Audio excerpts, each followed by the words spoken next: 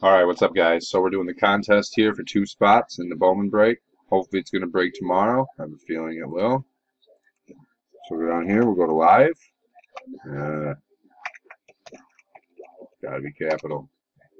Live up here to our two dice roll. Two dice, one time, no snake eyes. We're going nine times. Nine times on the dice roll.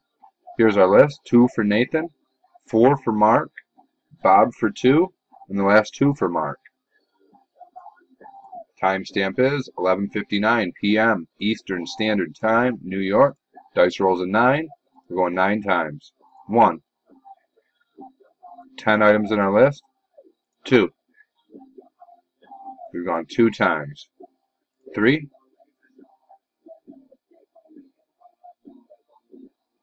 That took a minute. 4 five, six, seven, eight. After eight times, we got Nathan Cruselli on top, Mark Talley on the bottom.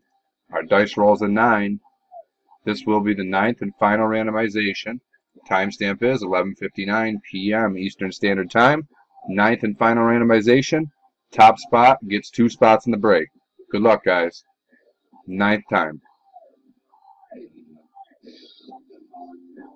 Ninth time, Mark Talley. Congratulations, Mark.